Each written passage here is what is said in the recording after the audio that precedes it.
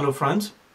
If you're one of those uh, developers who like to develop their uh, website project uh, locally and work in the in the local environment without going to have the hassle of uh, online uh, connectivity and the waiting for a long time to appear the plugins or whatever project you're working in with the uh, graphics and the videos, whatever you're putting in your project, so you don't don't have to wait for the longer. I bet that you are, you are familiar with the with the local by Flywheel to start a new project, and as soon you start your uh, a, your local application and uh, and you face something like this, and uh, you see a red band with the exclamation point giving you the warning saying heads up local router is having trouble starting. If you face this trouble continue with this video. This is for you. Uh, i'll tell you how to get rid of this. It's, it's a very simple very small uh, but, but before that if you did not subscribe to my channel uh, please uh, subscribe to my channel like the video if it helped and share with, your fellow fellow developers let's continue to see the trouble right now so here we are. Let's uh, start from the beginning. Let's say that you, you start your uh, local application and you just uh, wait for till it loads and now you want to start a new project. So you just say add a new local site and say my local just uh, site 1 possibly or maybe site 5 continue uh, now just provide the username we'll just go with the default one and just give a password. And now say add a site. And as soon you add a site and the data it's preparing the database it's preparing the files and the uh, the pages and uh, trying to load the uh, WordPress for you. As soon you see that your site is ready to work you got a big red band here pointing you out with the exclamation mark, say the heads up, local router is having trouble. And like you, you kind of stuck here, you just uh, see there's a, something called learn more, and then you have a retry, you just hit a retry, it tries, tries again, tries again, and ends up again on the same place, tries again, and it doesn't, it doesn't go anywhere and just uh, stuck here. And now, while you have this uh, warning and red band showing, uh, you try to search your website, let's say just uh, view website, it just uh, go try to to look for the for the URL and just gives you that the site cannot be reached, or maybe the the website the URL uh, refuse to connect. Uh, maybe you even try to go to the admin page and you'll just uh, end up with the page where it sh shows you that the site cannot be reached. Let's see how to fix it. I, when I faced this problem, I tried to search around the, the, the net. I couldn't find any video. That's why I decided to just put this video on.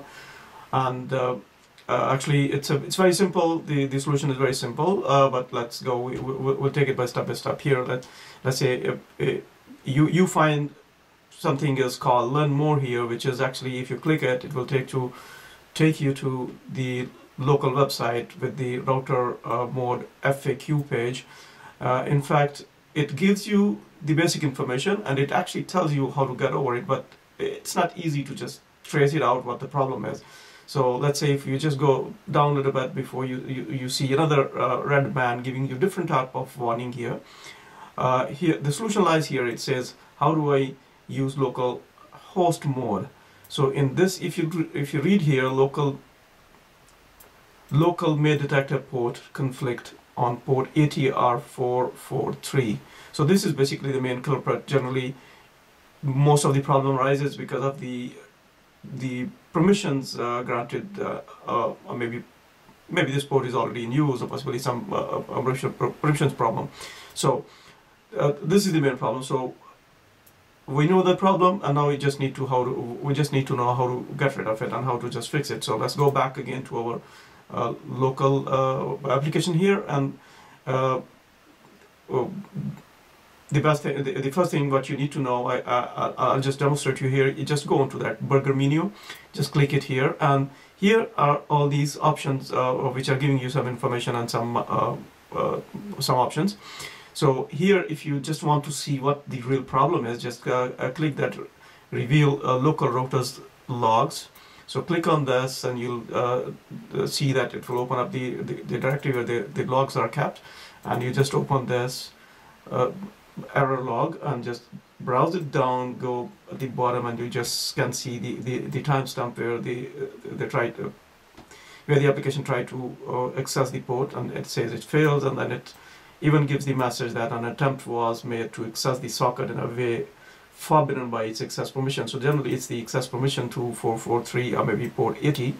So okay, that's another uh, topic: uh, how to get these permissions and how to make your socket accessible, a port accessible. Uh, I'm not going to go in this uh, because solution is very simple. So let's go back here.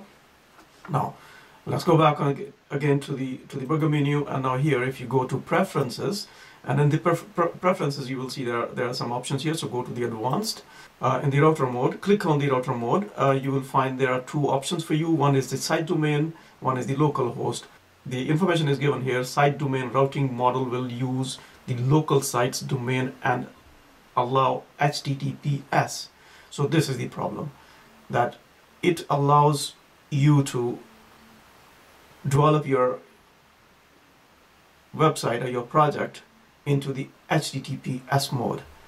And I don't see a point developing it here on your local. You could just put SSL certificates while you just go onto the local or uh, onto the onto the uh, live server where you want to host your site.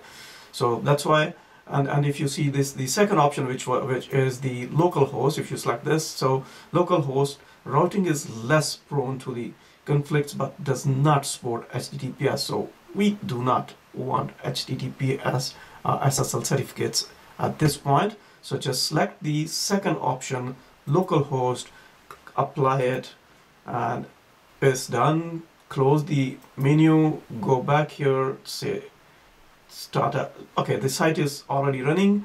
Uh, it gives you a warning that your url uh, does not match. We try to develop this website while selecting the first option. So it does not actually match our uh, url so you can just say fix it fix the problem. I mean it will rewrite the urls and now your site is ready to go.